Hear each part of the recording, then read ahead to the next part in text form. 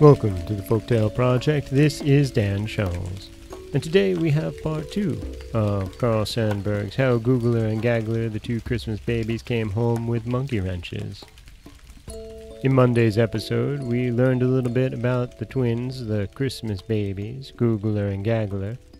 And we learned, and this is my favorite way of describing young boys, about the fun and the danger and the dreams in the eyes of these two boys.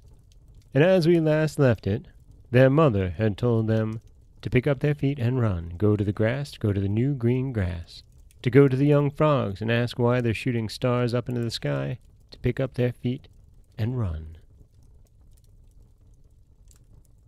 At last, Googler and Gaggler were big boys, big enough to pick the stickers out of each other's hair, big enough to pick up their feet and run away from anybody who chased them. One night, they turned flip flops and handsprings and climbed up on top of a peanut wagon where a man was pouring hot butter into popcorn sacks. They went to sleep on top of the wagon. Googler dreamed of teasing cats, killing snakes, climbing apple trees, and stealing apples. Gaggler dreamed of swimming in brickyard ponds and coming home with his back sunburnt so the skin peeled off. They woke up with heavy gunny sacks in their arms. They climbed off the wagon and started home to their father and mother, lugging the heavy gunny sacks on their backs and they told their father and mother, We ran away to the thimble country where the people wear thimble hats, where the women wash dishes in thimble dishpans, and the men go to work with thimble shovels. We saw a war, the left handed people against the right handed, and the smokestacks did all the fighting.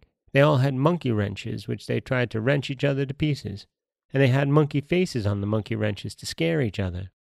All the time they were fighting, the thimble people sat looking on, the thimble women with thimble dishpans, the thimble men with thimble shovels.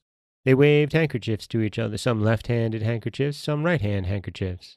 They sat looking till the smokestacks with their monkey wrenches wrenched each other all to pieces.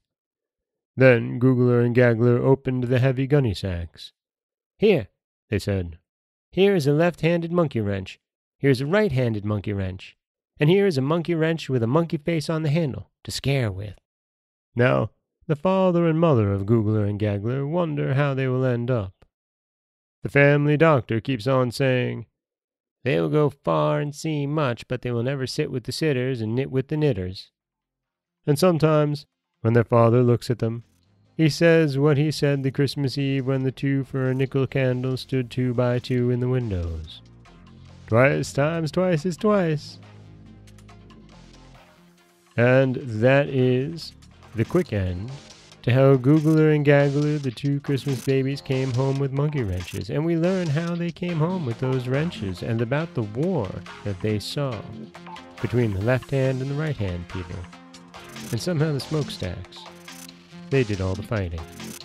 This is Dan Scholes from the Folktale Project. Don't forget that you can subscribe to the podcast on Apple Podcasts, Stitcher, Google Play, Overcast, anywhere you like to get your podcasts.